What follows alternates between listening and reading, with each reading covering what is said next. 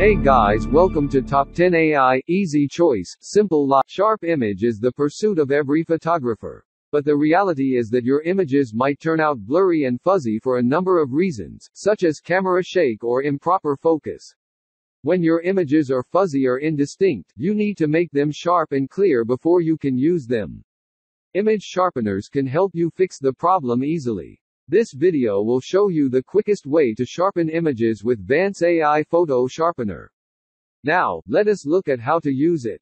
Step 1. Upload image drag and drop an image to Vance AI Image Sharpener or select one from your device.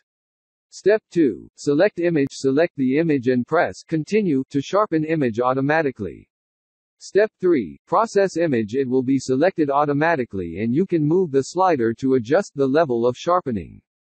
Step 4. Download image click the download icon to save the image sharpened. Vance AI Image Sharpen is a free online photo sharpener to sharpen image automatically in one click. The AI image tool is simple and easy to use for beginners, but it lacks photo editing function.